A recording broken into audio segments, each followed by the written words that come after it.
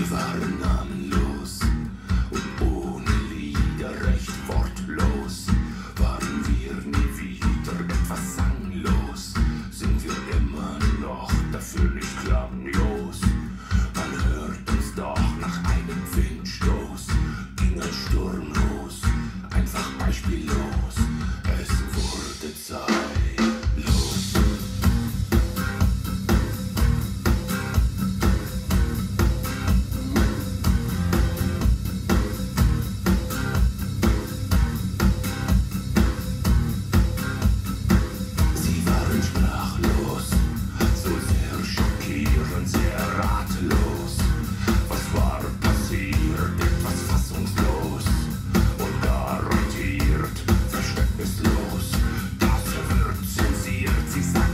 Bien.